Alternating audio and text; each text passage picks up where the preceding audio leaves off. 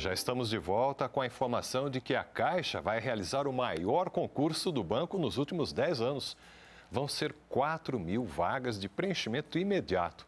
O edital deve ser lançado nesta quinta-feira e as provas realizadas ainda no primeiro semestre. Os aprovados deverão ser convocados até o final do ano. O presidente da Caixa explicou como as vagas vão ser divididas no banco e pelas regiões do país.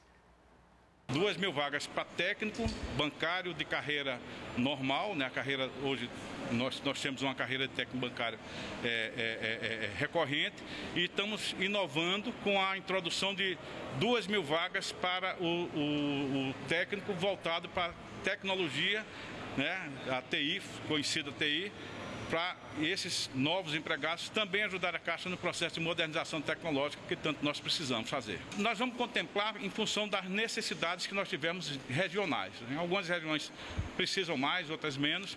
Nós também é, vamos estimular com esse concurso que a Caixa ele ocupe parte do território que é desassistido por bancos. Né? Nós estamos com toda uma estratégia voltada a, a, a estímulo de construção e, e, e, inauguração de unidades nossas de, da Caixa em áreas que são pouco assistidas do ponto de vista bancário.